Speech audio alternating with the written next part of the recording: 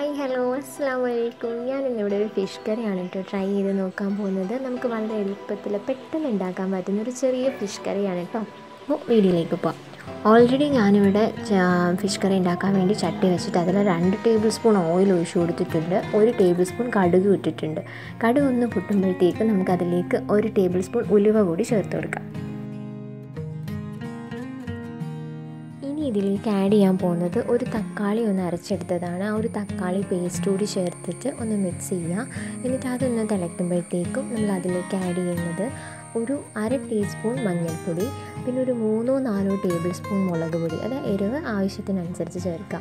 പിന്നെ ആഡ് ചെയ്യുന്നത് ഒരു ടീസ്പൂൺ മല്ലിപ്പൊടി ചേർക്കുന്നുണ്ട്. അതുപോലെ തന്നെ പിന്നെ ഒരു ഒന്നര ടീസ്പൂൺ ഫിഷ് മസാല പൗഡറും കൂടി അതിലേക്കിട്ട് നല്ലപോലെ ഒന്ന് മിക്സ് ചെയ്ത് ഒന്ന് തിളപ്പിച്ചെടുക്കാം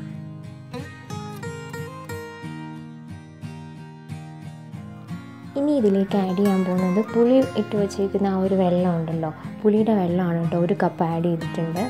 അത് ഒന്ന് തിളയ്ക്കട്ടെ അതൊന്ന് തിളയ്ക്കുമ്പോഴത്തേക്കും അതിലേക്ക് നമുക്ക് മീൻ ആഡ് ചെയ്ത് കൊടുക്കാം. നല്ല രീതിയിൽ തിളയ്ക്കുമ്പോൾ മീൻ അതിലേക്ക് ആഡ് ചെയ്ത് കൊടുക്കാം.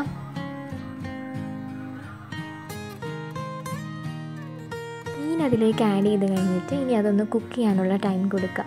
നല്ല രീതിയിൽ രീതിയിലൊന്ന് കുക്കായി തിളച്ച് വരുമ്പോഴത്തേക്കും അതിനകത്തേക്ക് കറിവേപ്പിലയും അതുപോലെ തന്നെ ആവശ്യത്തിന് ഉപ്പും കൂടെ ചേർത്ത് മിക്സ് ചെയ്യുക. എന്നിട്ടൊരു ഫൈവ് മിനിറ്റ്സും കൂടി ഒന്ന് തിളപ്പിച്ചെടുത്തതിന് ശേഷം നമുക്കിത് സെർവ് ചെയ്യാം. അപ്പോൾ ഇത്രയേ ഉള്ളൂ മീൻകറി. ചെറിയ മീൻകറിയാണ് കേട്ടോ. പെട്ടെന്ന് ഉണ്ടാക്കാൻ പറ്റുന്ന ഈസി ആയിട്ട് ഉണ്ടാക്കുന്ന ഒരു മീൻകറി.